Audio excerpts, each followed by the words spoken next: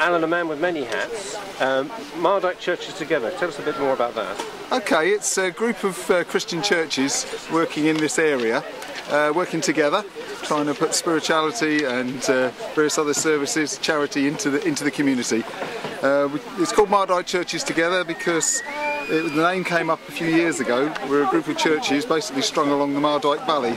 So you've got Aveley, Ockendon, and Purfleet, churches from different denominations represented, working in that area, and we're just there to be churches, to be services to the community, uh, to be a charity, to be a help.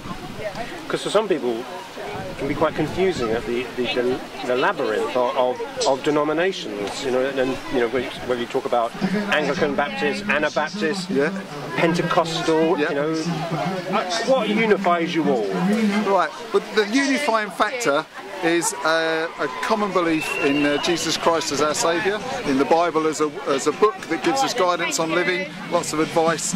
And yes, there's lots of denominations, but uh, I've sort of thought of an analogy a few years ago, and it's a bit like going to Lakeside shopping. You know, there might be 10 clothes shops, but yeah, depending on your age, what your particular fashion or desires are, you might go to this shop or that shop.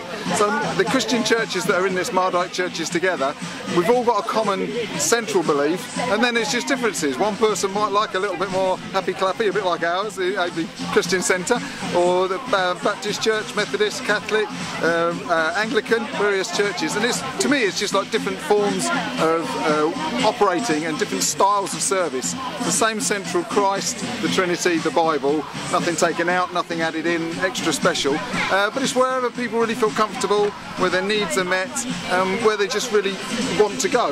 And that's why, so there's lots of denominations, but certainly our churches, there, we've got common central core beliefs, and then there are differences. And I think God glorifies in the difference, and uh, we, should we just work together, and it's wherever people feel comfortable in going or where they want to go. Thank you.